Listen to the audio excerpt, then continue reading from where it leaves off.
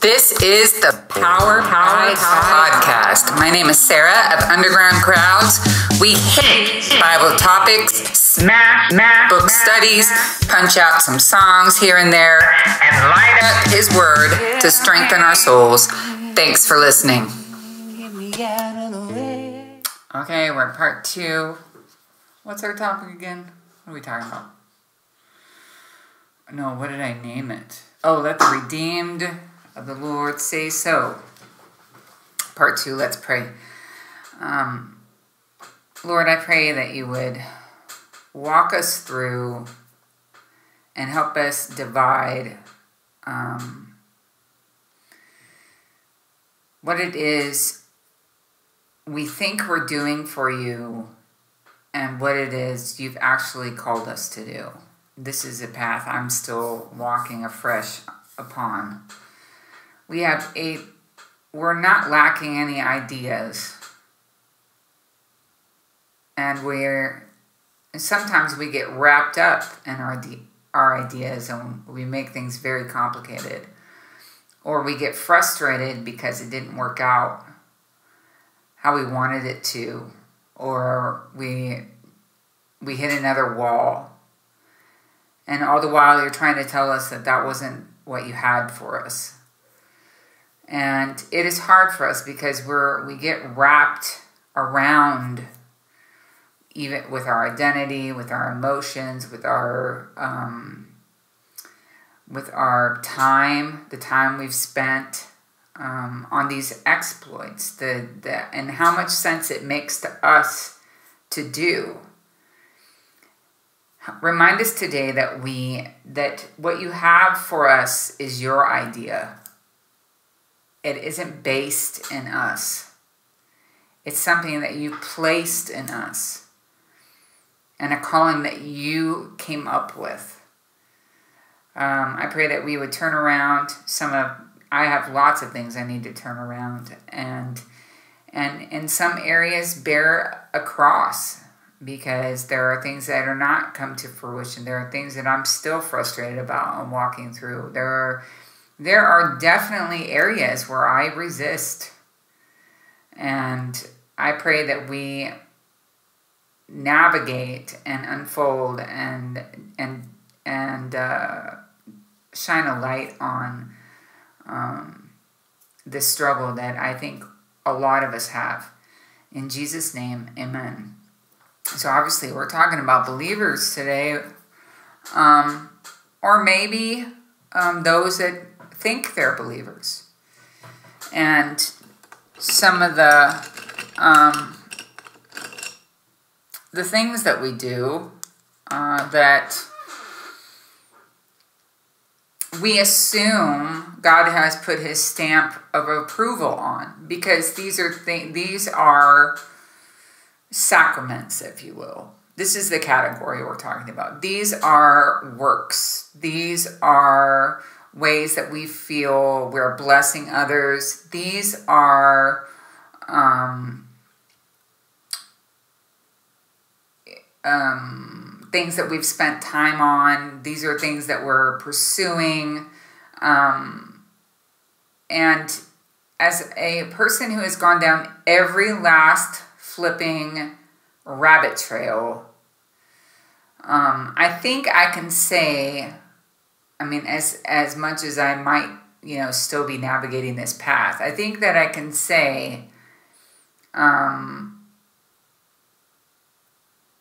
where things are the most uncomfortable is usually where he wants me to be.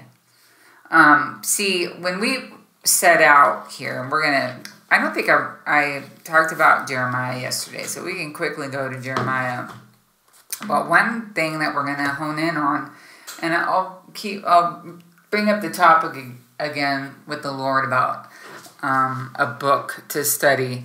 But as of yet, um, I don't have that leading necessarily. So, Jeremiah, remember yesterday we talked about how, you know, ministry is his idea, it's not our idea. And the the Great Commission, Matthew 28, is his thing. Um, but it seems to me, be, and when we're wavering in between the, the, the Great Commission and getting saved and going back and forth, it seems to me one of the ways we try to get out of that no man's zone is by coming up with stuff to do for the oh, I was queen of this. Um, to the point, I want to say this to the point that I lost total track of the fact that I was a, a songwriter, um, and that that was something God had placed in me. Um, because for me, it was like, well, just whatever keeps you busy. So actually, um, my dream, even though I did have people periodically um, come into my life and and tell me, you know, hey, you should probably do something with this. To me, um, it was just more of a question of getting busy in churchy things. And so I wanted to start a camp. Um, I had a great idea for starting a camp, you know, quote unquote. Um, I actually wanted to have a camp that helped people get off welfare um, and taught them trades or like a trade camp. And with um, Christ, uh, emphasis on Christ. And, um, you know, for me, I, you know, that was something I wanted to do.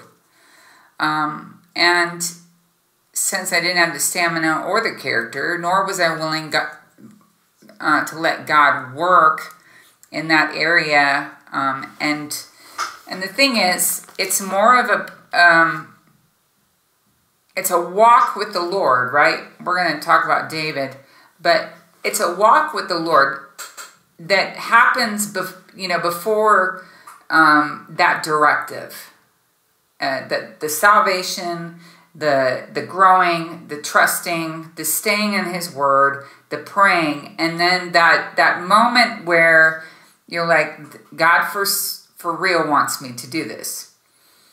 And I never got that moment with camping. It was just something I, I busied myself with. But looking back, um, there was a time,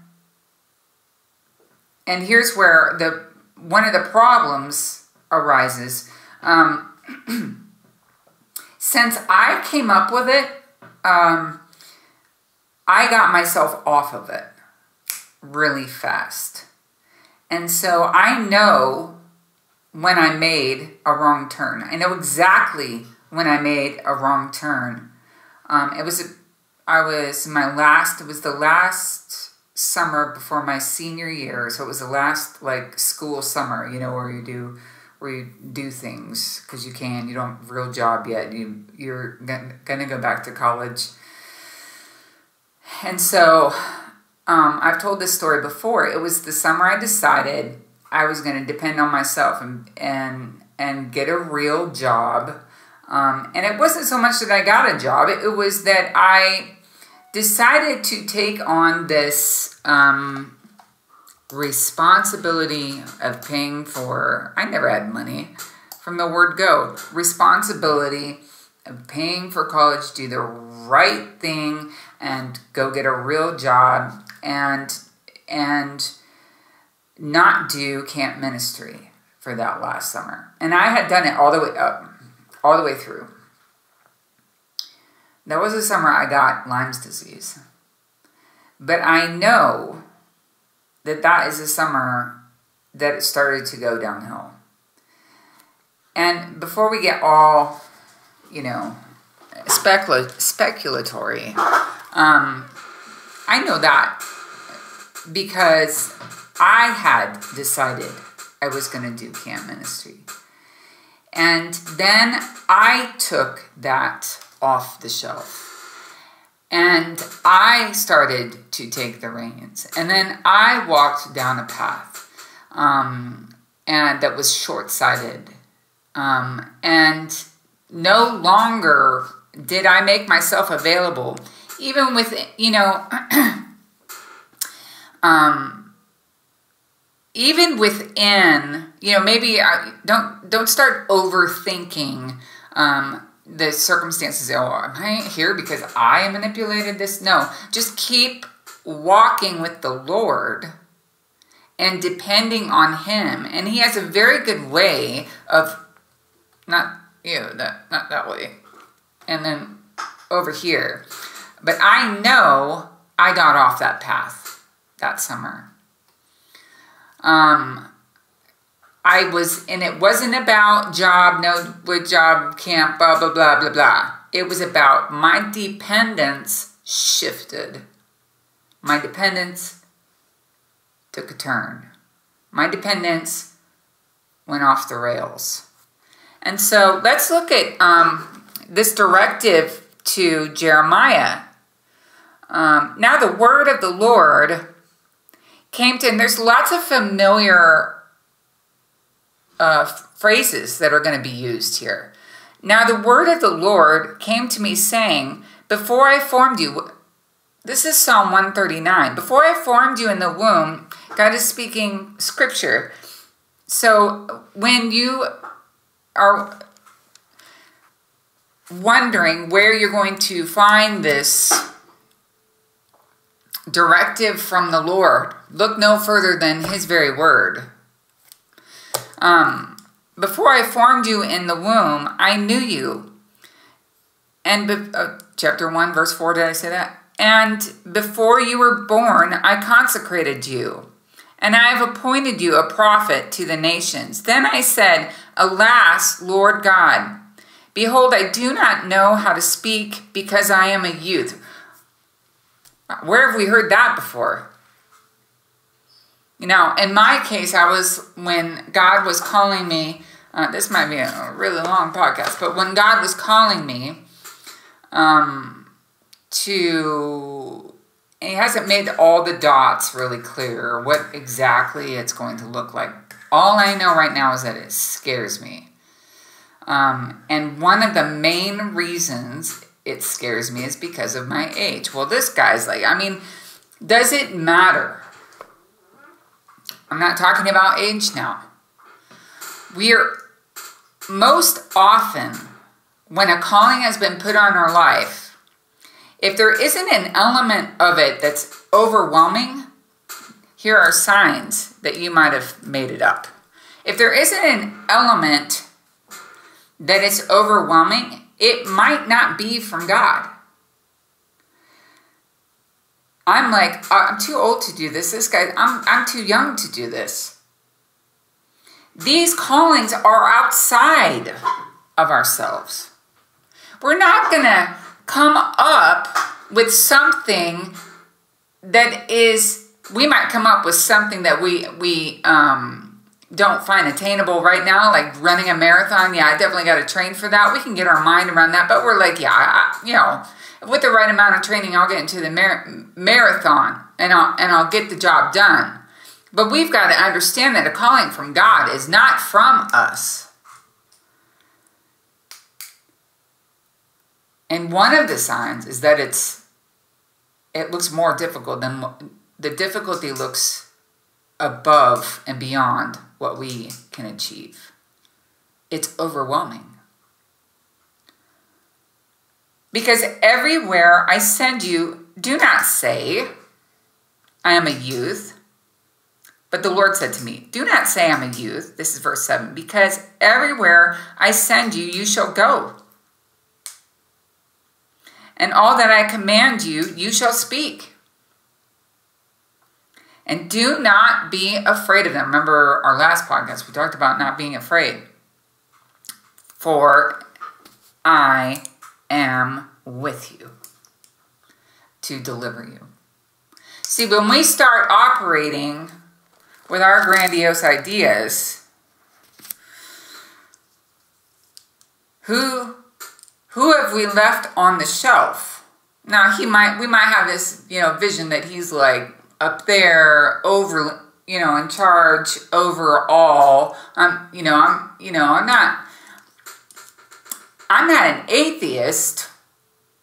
I, I you know, I wouldn't be doing this holy thing. I'm definitely a Christian, but I'm operating with my own imagination, with my own idea, with my own strength, with my own sort you know, uh, compass, with my own, um, you know, all, uh, all the all the stuff that we need to do to get the job done that we came up with, the job that we came up with to begin with, to get the job done.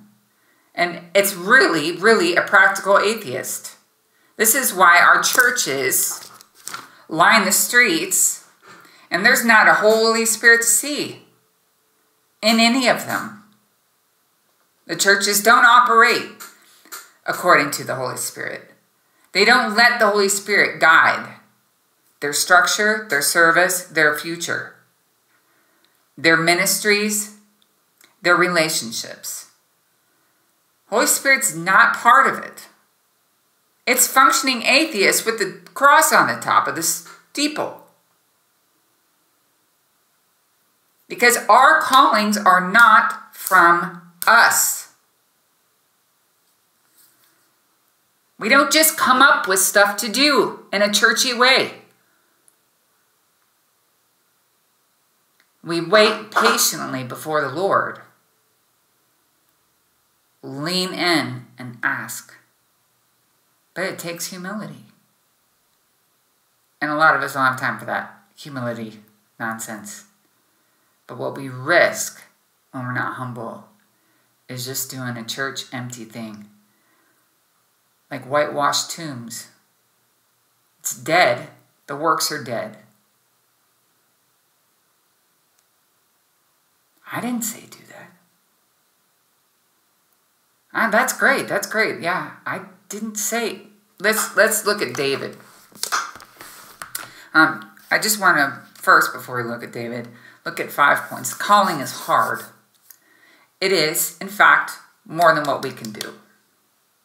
Two, it might be something we don't want to do, as we saw with Jeremiah, as we saw with Joshua, as we saw with Moses. No thanks, find somebody else. How many times have I said, no thanks, find somebody else to God concerning this? And what was it exactly? It was just satanic. It was just demonic stuff. And I would have to, I would, it was just rebellion. It was plain old, I am not doing that rebellion. Like a three year old like a three year old. Because it triggered something on purpose. It triggered something in me that I was unwilling to yield. That vulnerability I was unwilling to go to. Your calling is going to require you to be vulnerable. It's a requirement. Only vulnerable people, humble people, are receptive. He's not handing you a map and saying, go for it. He's handing you this thing that you cannot do in your own strength and saying, What? I'm with you. What does that imply? Just I'm with you. There's just word no, I'm with you because you're supposed to lean in.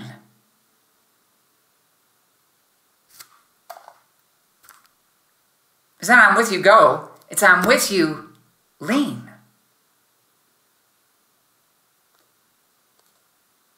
Wow, this was a this was a news flash for me. The do do do Christian, the do next next next. My list is you know, I got forty five things on my list and thirty more to come, and it's only eight o'clock in the morning. I just we're in a habit of being habitually away from the Spirit of God. Because He will require us to slow down. He will require humility. He will require vulnerability. He will require us to give up our plans. He will.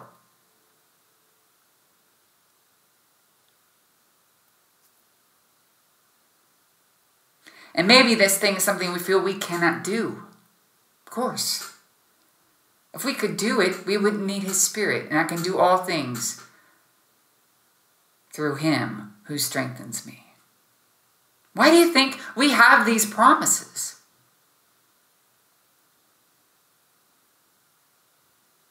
Christianity is not DIY. Christianity is do it with God.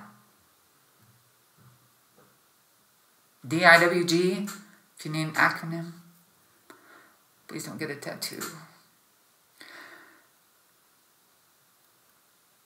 Again, this requires us to lean completely upon Him. And goes without saying, what I'm looking at to do for Him is quite often not something He not asked us to do. That's sobering. But if you think about it, it's not relational. What has God primar- primarily called us to? This relationship with Him.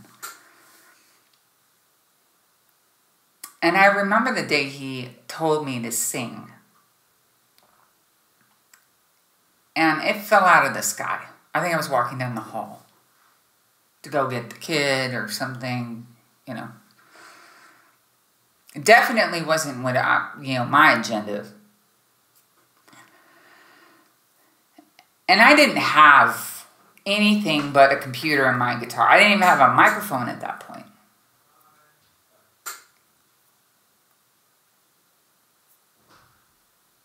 But I made the mistake of thinking of this as a to do list from God to walk off and then, you know, check off the list. Instead of teach me how to lean. Because at the beginning it wasn't overwhelming. I I write songs. I will write songs if nobody's ever nobody ever hears them. I always have. And it's always been, except in high school, but even in high school, it was, it was a way to serve. I can honestly say that because it wasn't me that was looking for opportunities to play. It was my friends that were like, You are going to be in our band.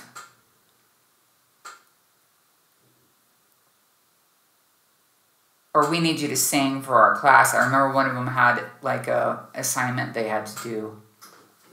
So there I was singing one of my blues songs in high school class.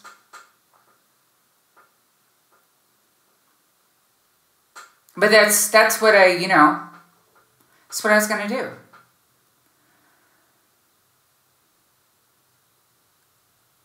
But when it got overwhelming, and when it re- required vulnerability, and when it required longevity, and when it required um, fight, a fight, it was like, can we just go back to I just write songs? Wash them down the sink?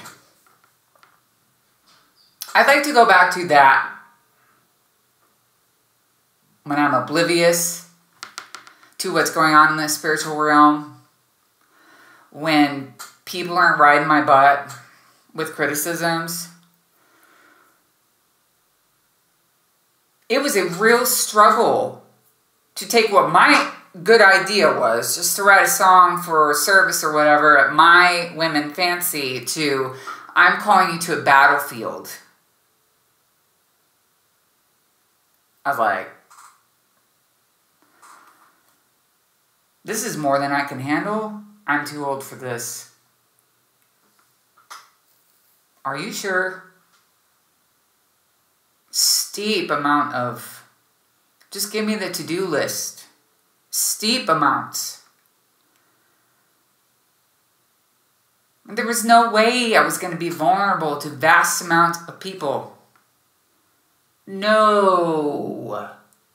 I don't know if I've ever told, I mean, yes, I know I've told people about my background where my, you know, my parents never even called for the electrician dishwasher broke down. Mm-mm. They did it themselves. We are we were DIY from the word go. We didn't take anybody's opinion, nor did we care. And God wants me to be vulnerable, be able to navigate people. Not my idea. Not something I can do in my strength. My mouth. Mm-mm. My ego, my pride, all of it. He was taking it all to the table. He was the shining a light on all of it. And I would I would submit that if you are pouring service down the sink, it is not going anywhere. It's time to hang it up. Maybe keep it to where you can look at it, especially if it's a talent that God's given you. Keep it where you can look at it and say, This is yours. And I am going to humble myself, and I'm going to seek your face, and I'm going to read this scripture. And when you ask me to pick that up, that is when I pick that up.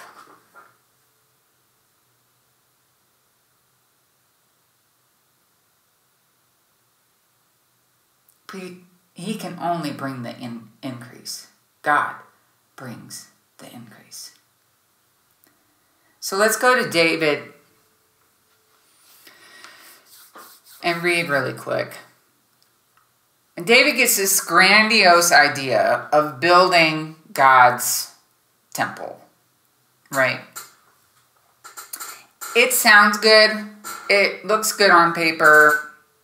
He probably has ideas of how he wants how he wants it to look. Why not him? Um, there's such, you know, and he brings an emotional draw in there, in there, and he's like, "Look at this," and the ark is there, and you know, it's all. Women are really good at this. We explode it way out the, you know, but God must want this, um, because we're good at that. We're really good at that, and so he's he's whining to Nathan, and this is the kicker. This part is the kicker Nathan goes with it.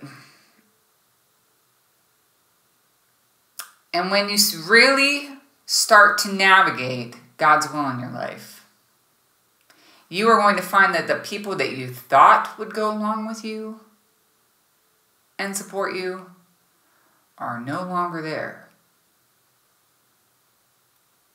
So prep yourself. Nathan is telling him he should and it's not from God. Remember, this is the Nathan in the chapter before. Oh no. This is the same Nathan that was like, You're the man, after he committed adultery with Bathsheba. So he was not, you know, MIA. Who's this clown on the scene? He was trusted. Let's read. Shut up, Sarah. Now it came about when the king lived in the house, and the Lord had given him rest on every side from all his enemies, he got ideas. This is Sarah's version. That the king said to Nathan, the prophet, See now, I dwell in a house of cedar, but the ark of God dwells within tent curtains. Do not, do not take that space that you have, that stillness that you have. This is all from experience, yo and fill it with something that God is not telling you to do. Oh, and it's tempting. God must want this. God must, you oh, know, I, I've got an extra five minutes. I need to fill it with that. I need to do that. I need to have another sport this week. I need to take my kids to five sports during the week. Oh, we need a lesson in this. Just stop. Just stop. Learn to let the space be. Nathan said to the king, Go. Remember the go part? Oh, yeah. I'll take the to do list and I'll go right out from underneath your spirit. I'm going. And do all that is in your mind. That should have been his first clue. For the Lord is with you.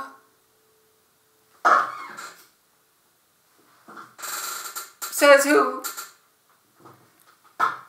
But in the same night, the word of the Lord came to Nathan, saying, They had a plan. They obviously love God. And God went, Oh no. Let's shift that. They weren't, I'm not talking about people that are living in sin. I'm talking about those believers that are moving forward. They're in God's word. They are praying. They're seeking his face. But they're wondering why that area of their life, do just keep pouring it down the sink? What that is all about. Let God go. Don't be afraid of the spaces. Don't be afraid. Be vulnerable. Be humble. Be willing to let go. This is our example from David. Go and say to my servant David, Thus says the Lord, Are you the one who should build me a house to dwell in? Hmm? For I have not dwelt in a house since the day I brought up the sons of Israel from Egypt, even to this day, but I have been moving about in a tent, even in a tabernacle. Sounds like a content God. Wherever I've gone with all the sons of Israel, did I speak a word? With one of the tribes of Israel, which I commanded to shepherd my people Israel, saying, Why have you not built me a house of cedar? Now, therefore, thus you shall say to my servant David, Thus says the Lord of hosts, I took you from pasture, from following the sheep, to be ruler over my people Israel. I've been with you wherever you have gone, and have cut off all your enemies from before you. And I will make you a great name, like the names of the great men who are on the earth. I will also appoint a place for my people in Israel and will plant them, they, that they may live in their own place and not be disturbed again nor will the wicked afflict them any more, as formerly. Even from the day that I commanded judges to be over my people Israel, and I will give you rest from all your enemies. The Lord also declares to you that the Lord will make a house for you. When your days are complete and you lie down with your fathers, I will raise up your descendants after you, who will come forth from you, and I will establish his kingdom. He shall build a house for my name. And I will establish the throne of his kingdom forever. Peace out. Again, thanks for listening. Catch the next part of this series, usually Wednesday, Thursday, or Friday. You can also find Underground Crowds on Twitter, Patreon, Bandcamp, or undergroundcrowds.com.